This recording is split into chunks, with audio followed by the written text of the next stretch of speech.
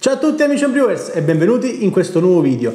Prima di iniziare ci tengo a dirvi che il video di apertura della stagione, quello dedicato all'Imperial Stout, è andato molto bene. È piaciuto molto, ha avuto molte interazioni ed è schizzato in vetta alle statistiche del canale. Quindi ho deciso di sfruttare questa ondata positiva e continuare con questo format, anche se a dire il vero per oggi avevo altri programmi.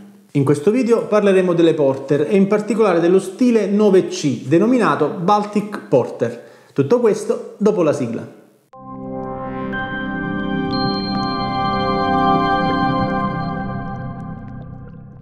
La storia delle Porter nasce tra la foschia dei bassifondi della Londra vittoriana e per certi versi la sua genesi è stata anche fin troppo romanzata. Per i nostri scopi ci basta sapere che in principio esistevano solo le Porter, che erano sicuramente le birre più popolari del periodo, e le Stout esistevano come esemplari più forti eh, delle Porter stesse, che venivano chiamate appunto Stout Porter. Al giorno d'oggi non è semplicissimo distinguere tra una Porter e una Stout. Del resto stiamo parlando di stili cugini che spesso e volentieri vengono anche stravolti dai birrifici e questo non fa nient'altro che affievolire ancora di più il confine tra loro. Ma sotto sotto le porter si differenziano proprio per un piccolissimo dettaglio che ad un palato superficiale potrebbe passare inosservato, ovvero il tostato. A farci compagnia oggi abbiamo Sleepless Night, una Imperial Porter prodotta dal birrificio East Side, una sorta di pocket coffee liquido che mi è stato inviato da Cantina della Birra che ha deciso di supportare questo format. Da premettere che questa non è affatto una Baltic Porter, però c'è anche da dire che nel BJCP non esiste lo stile Imperial Porter, per cui sicuramente non la prenderemo come riferimento accademico per lo stile, ma la utilizzeremo semplicemente per farci compagnia durante questa chiacchierata.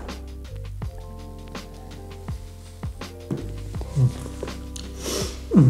Molto interessante come birra. È stata abbrassata col caffè, e si sente tutto, ma non è eccessivamente amara, anzi è molto rotonda. Il corpo è medio, medio, medio alto. Leggo che c'è anche dell'avena tra gli ingredienti, quindi questo sicuramente ha contribuito a questa pienezza. E mm, in realtà ci sento anche una, una certa dolcezza derivante da, da, dalla parte maltata e dai malti caramello eventualmente utilizzati. Ma parliamo proprio del tostato. Sebbene la maggior parte degli stili porter e stout siano confrontabili in quanto a corpo, alcol o ingredienti, in realtà ehm, le porter si differenziano proprio per quel carattere non apertamente tostato che dà una maggiore libertà di movimento ai sentori derivanti dagli altri malti scuri utilizzati. Non dimentichiamo che le porter erano prodotte storicamente col malto brown, che dà sì degli aromi tostati, ma non come un roasted barley, per intenderci. Parlando proprio del brown vi dico da subito che io non preferisco utilizzarlo perché lo trovo troppo amaro per i miei gusti e mm, di solito lo sostituisco con altri malti scuri. Ma procediamo con ordine. Baltic Porter è il più forte dei quattro stili presenti nel BJCP ed è l'unico dei quattro ad essere brassato tradizionalmente con un ceppo a bassa fermentazione. Questo aumenta ovviamente la difficoltà di esecuzione di questo stile, ma di questa cosa ne parleremo alla fine di questo video. Parliamo invece del grist. Parto col mio solito malto pilsner, affiancato stavolta con un dark Munich in una proporzione di 2 a 1. Questo ci garantisce di partire da una buona base maltata. Io di solito aggiungo anche una piccola percentuale di frumento, non è obbligatoria, ma a me piace la complessità che viene aggiunta. Diciamo una proporzione intorno al 10%. Veniamo ai malti caramello. Io utilizzo come per le stout di solito due malti caramello, uno intorno ai 120-130 EBC e un altro intorno ai 2,50 per aggiungere un po' di sentori toffi. In base a quanto mi sento tamarro posso decidere di utilizzare un Caramunich al posto del Crystal, diciamo in una proporzione intorno al 7-8%, che è un malto caramello ma mh, aggiunge sentori tipo melassa o prugna che in una porter sono auspicabili, per poi andare ad aggiungere una percentuale più piccola, intorno al 5%, di Special B. Andremo a concludere con una cinquantina di grammi di malto black, giusto per dare colore, qualora dovesse sembrarci troppo chiara. Il mesh lo tengo alto, intorno ai 68 gradi, single step, come tutte le mie birre, per un'ora. I malti scuri come lo Special B o il Black potete anche aggiungerli alla fine in modo tale da evitare di incorrere in quella fastidiosa stringenza da malti scuri. Per quanto riguarda l'acqua, io di solito quando brasso le porter utilizzo un trucchetto, ovvero taglio l'acqua che uso di solito, la Sant'Anna o la Blues, con un'altra acqua più ricca di bicarbonati per elevare un pochettino l'alcalinità. Questo mi permette di avere già in partenza un profilo ottimale senza dover aggiungere troppi sali. Per effettuare il calcolo uso il tool presente sul mio portale inserendo le informazioni delle due acque per poi decidere la percentuale di miscelamento. Dopodiché mi salvo il risultato su Brewfather. L'idea comunque è quella di avere un profilo orientato al malto proprio per porre l'accento su quel genere di sentori. Per la stessa ragione non vado a scegliere un luppolo con un amaro affilato, tenendomi intorno a un rapporto BU-GU intorno a 0,4.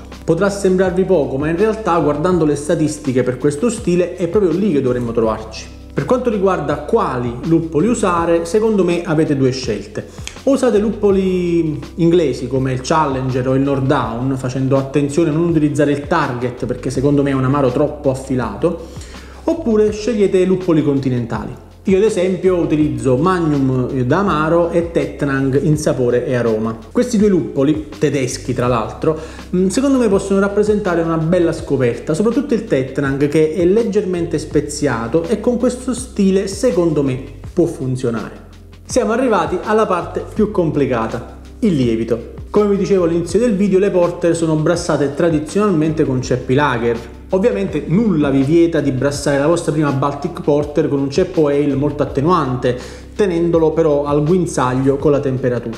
Ma volendo fare le cose per bene, ci tocca usare un ceppo a bassa. Per i secchi esiste una sola scelta, il 3470 della Fermentis, mentre per i liquidi, come è ovvio, esiste l'imbarazzo della scelta. Però io, considerando la densità elevata e considerando anche il fatto che non ho pazienza, propenderei per un ceppo lager in crema come l'LG37 della Tecnos. Ne comprate 2-3 confezioni da 50 grammi come questa e le inserite direttamente in fermentatore senza fare starter né altre cose strane. Con i patron discutiamo spesso di questa tipologia di lieviti e per loro esiste una convenzione proprio con la Tecnos. Trovate come al solito tutto in descrizione. Bene amici Brewers, anche per oggi dallo Sgabuzen è tutto. Spero che questo video ovviamente vi sia piaciuto e nel caso fatemelo sapere con un like.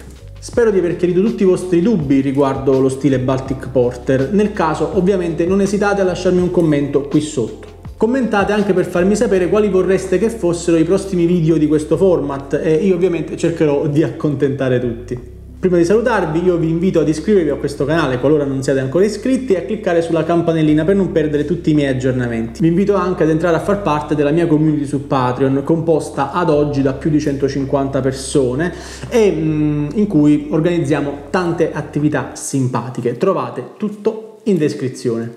Noi ci vediamo come al solito fra due venerdì. Ciao Brewers!